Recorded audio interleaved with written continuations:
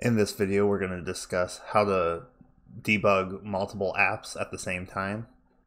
So this was an issue that came up today where uh, we were talking about having multiple projects in the same solution. And one of the things that most people know that you can do is you can set the startup project here by right clicking on this project. Do you set the startup project? Then if I run this console app, it'll run um, this first app that I have here. We can see hello, welcome from the first app.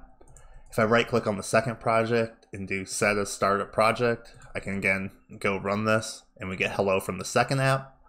But that's not super useful all the time because what if I want to run both of these apps at the same time?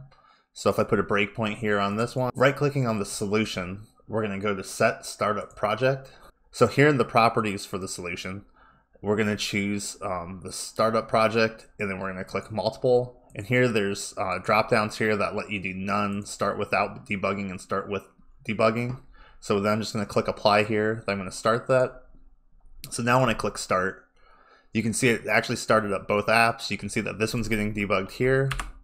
And if I show this window here, this one's also getting debugged. Let me set a breakpoint in both and rerun that really quick just so you can see that when I click start, both start up I get a breakpoint here, and I get a breakpoint here.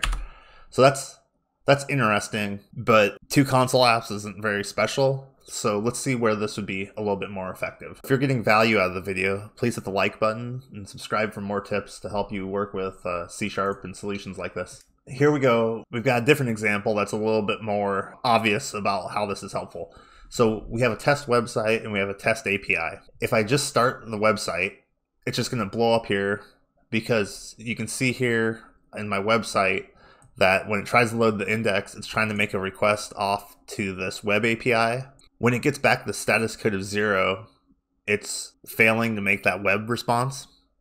So I'm just gonna hit F5 here. So the first thing we need to do to make this work the way we want to is we have to right click on the solution again, go to set start projects, do the multiple, click apply, so now when I start this, it's going to start the web API up at the same time it's starting up the website.